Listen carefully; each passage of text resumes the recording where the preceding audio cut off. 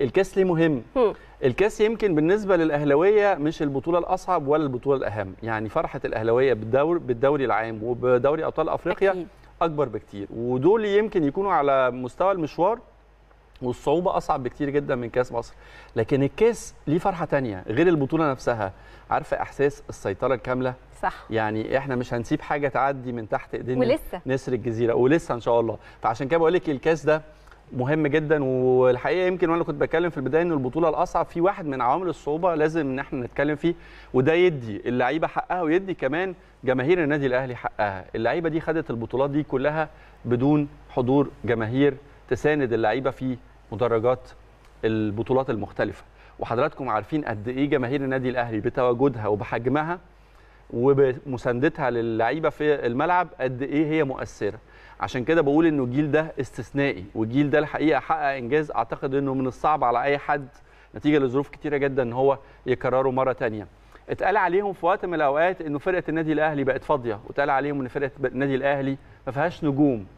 لو دول مش نجوم مين يبقوا نجوم؟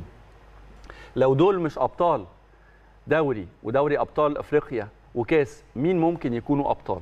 تحيه تقدير واحترام على إصرار وعلى مثابرة وعلى جهد كبير جدا اتبذل وعلى انتماء للكيان وعلى روح فانيلا حمراء هي السبب الأول في حظ النادي الأهلي لبطولات الموسم الحالي سواء على المستوى القاري أو على المستوى المحلي. تهنئة مرة ثانية لأبطال إفريقيا وتهنئة أكيدة طبعا لجماهير النادي الأهلي السعيدة جدا بالتتويج بالثلاثية. خلينا نتابع بقى الأخبار لأنه زي ما قلت لحضراتكم الموسم أو الموسمين تقريبا يعني داخلين في بعض. يعني إحنا لسه مخلصين ماتش كاس هنبتدي إن شاء الله كمان أسبوع من النهارده نلعب أول مباراة في الدوري العام.